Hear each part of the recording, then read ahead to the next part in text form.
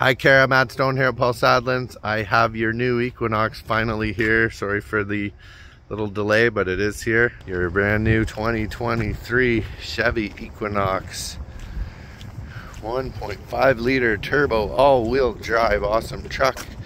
Alloy wheels. Let me show you here. Show you from the back.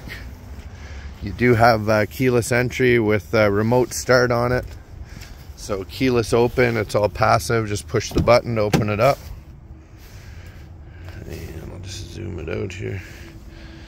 So inside, IntelliBeam automatic headlights, your cruise control, Bluetooth controls, Apple CarPlay, Android Auto ready.